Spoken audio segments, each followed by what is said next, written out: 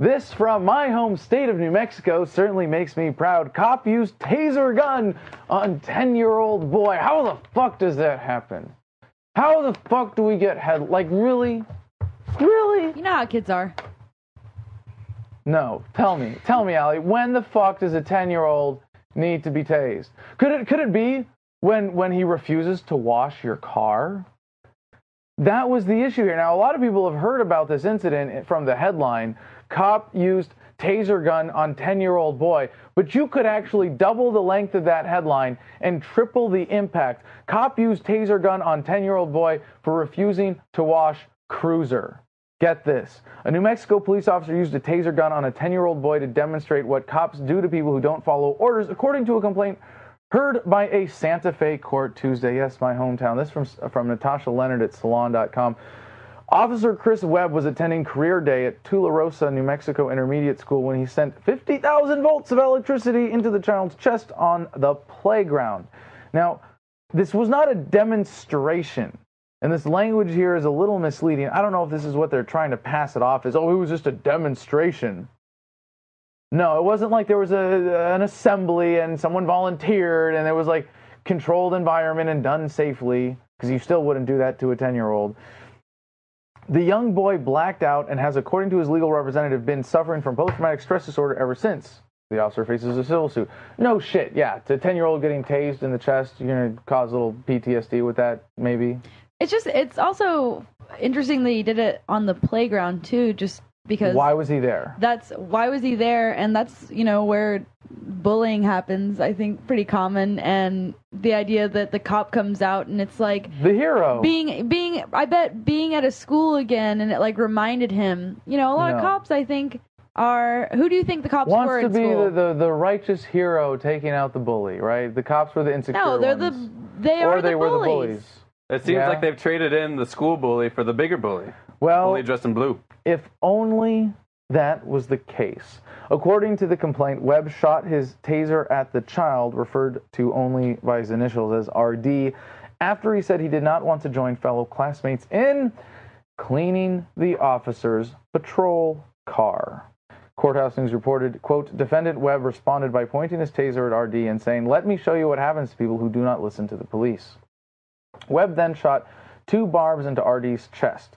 Both barbs penetrated the boy's shirt, causing a, the device to deliver 50,000 volts into the boy's body. Defendant Webb pulled the barbs out of the boy's chest, causing scarring where the barbs had entered the boy's skin that looked like cigarette burns on the boy's chest. The boy, who weighed less than 100 pounds, blacked out. Instead of calling emergency medical personnel, Officer Webb pulled out the barbs and took the boy to the school's principal office. And he claimed after this incident that it was an accidental discharge and was given a three day suspension. Now, Oh, before we get to the actual significance of, of what happened, let's accept the bullshit. Let's accept the officer's story. Point blank. You have an officer who is point blank putting a taser at a kid's chest, a 10 year old boy at school. And you give him a three day fucking suspension. I would say for flagging a kid like that, a cop should be seriously reprimanded, if not fired. But the fact that he fired it, that it was that, that he put his finger on the trigger in violation of basic now this is for firearms at least safety protocol you know never point a weapon at anything you do not attempt intend to shoot keep you know treat every weapon as if it were loaded keep your finger straight off the trigger until you are ready to fire Make keep your weapon on safe until you are ready to fire The target. okay that's not relevant here caesar Oh. well, okay, maybe. Maybe he was in front of a crowd of other kids, but I don't think that was the case here. He shot him point blank in the fucking chest, and he claimed it was an accident. I'm pretty sure the, the tasers that cops use, because they're really hardcore, have safeties on them. So a violation of at least two safety rules if his story is fucking true to begin with. Is it child safeties? I mean, what's the point of those if they're using them on kids? I just uh. who's the victim here? Like the victim of the, The cop? child. Like you have a dirty No, no, you mean that would the, the, who is the victim that would necessitate yeah the order in the first place? Yes. exactly. The cop was so wronged. It was such a crime to not blindly obey the orders to clean his car. Now, I want to know how the fuck this even came about that kids at a public school. We're asked to clean a patrol car? What the fuck Like, is that? What does a patrol car get dirty with, for one thing? Like vomit from drunks and probably Well, like probably just all the, all the gas fumes because they leave it on all day, so just the black smoke Oh. tithering on the. This is one of those things where you're like, yeah, if you're not from New Mexico, you wouldn't understand. And it's like, uh, it's one of the only in New Mexico kind of stories that this could even happen in the first place. But I, I mean, I, I, Is there like a different attitude that they have there in New Mexico? I don't know. I hope they string this guy up by his balls because there's an attitude for justice like that as well. But I don't think that's going to happen. But if I was the parents of this kid, or uh, I, you know, I don't know what, what I would be. I don't. I don't know. I don't even know. What would you do if your kid, if your kid, if this was your kid, and you knew the cop? I mean, I- that, that could be brain damage. I mean, you're Take 10 out years of the- old. It Take is. him out of It the is. It public is a tra- no. A traumatic experience at that age is uh, effectively stunting brain growth. Yes. Unbelievable. I mean, maybe not significantly, and you wouldn't clinically call it brain damage, but yes, that is the effect of trauma on a developing mind.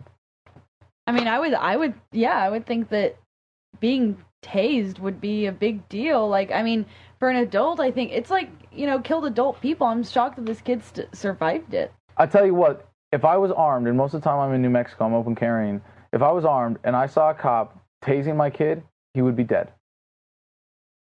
As long as he's got the barbs in his chest, that cop is fucking dead. I think a lot of parents probably feel the same. I, I don't blame you for saying that. And he'd be lucky if if he gets away with it in the moment, and nobody there is armed and looking out for the public safety. But if it was my kid, I can't say I wouldn't be tempted to go hunt him down afterwards too, rather than waiting for the the, the legal system Yeah. to take care of this guy. Because what are they going to do? They're going to give him a three day fucking suspension. Where the hell were fucking the uh, teachers during all this anyway? Not that I have the you know strongest of faith in teachers to look out for the well being of the kids, but something. they were swatting away all the kids who were trying to videotape it so they wouldn't get it on video. So.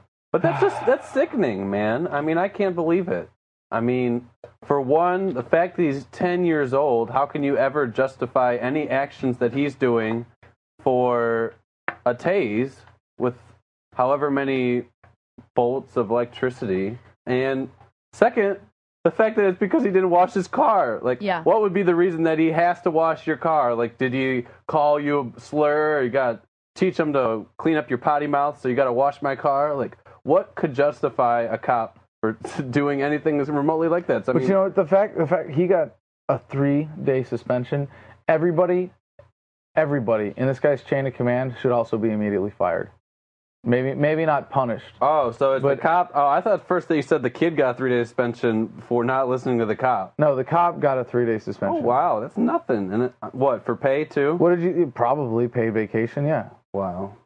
I, That's I- usually. I mean, they don't. They. It takes a lot to get a cop fired. so this is Officer Chris Webb still on the force in New Mexico, and uh, I would I would hope that you know there would be some level of accountability that people would. I mean, if nothing else, we can call him out for it. Make sure that everybody in his community knows who he is, knows that he's a threat, knows that he is uh, someone not to be inter- not to be dealt with, someone to be someone to be ostracized from society, someone to be voluntarily shunned. I think that's uh, like really this is a guy that should effectively not be allowed out in public. Like if, if he's out, people should run the other way. This guy's this guy's a menace. We should instead of having a segment status of the week, we should have the person of the week that we want to ostracize. Like back in Athens, where you could vote for someone you want to exile from Athens, and then That's a good point. I mean, we should do I that that. because I think we have we found our first winner, No kidding. Well, not Officer our Chris first. Webb. Certainly not our first. Just have to get one neocon at a time no. to put Don't down try to- the don't try guns to turn- of government. You, as a free, beautiful, independent human being with inalienable rights, own yourself. Why don't you sit down and like study some of the things that Mitt Romney actually teaches?